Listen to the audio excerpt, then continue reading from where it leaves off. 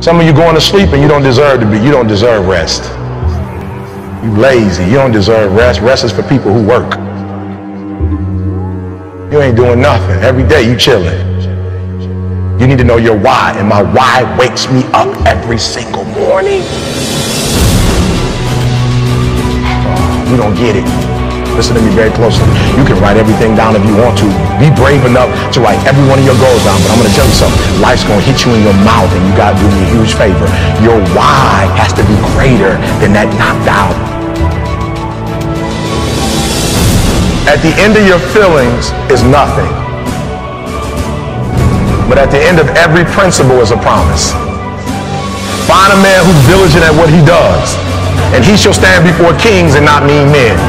Every day you say no to your dreams, you might be pushing your dreams back a whole six months.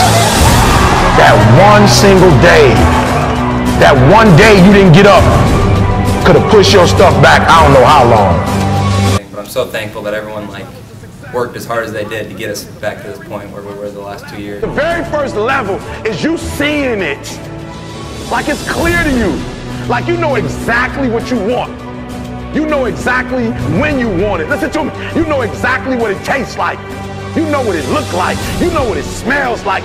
Before you really blow up, blow up, and you get success, you literally have it in the palm of your hand without having it.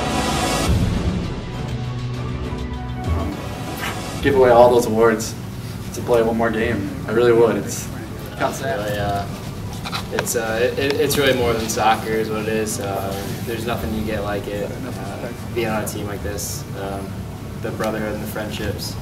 Uh, um, just keep working hard, guys, because uh, it sucks when it's over. And it's been a great ride. I met my best friends. I'll have for the rest of my life. And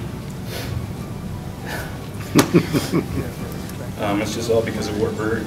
Always cherish you guys forever.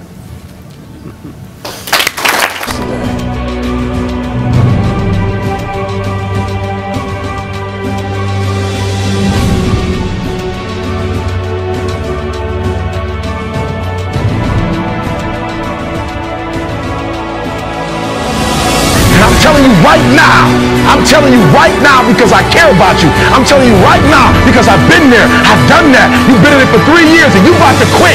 You've been doing it for five years and it don't look like you think. You put all your money in it. You put all your time in it. People are looking at you crazy. Five years you've invested whole. You put too much in it to quit now. And the problem with some of y'all is you want somebody else to support your dream. Is my time. Moment. Tomorrow, tomorrow, ain't no such thing as tomorrow. What does your dream look like? What does it smell like? What does it taste like? If you want it to happen, get your butt up and make it happen. If you want it to happen, rise and grind.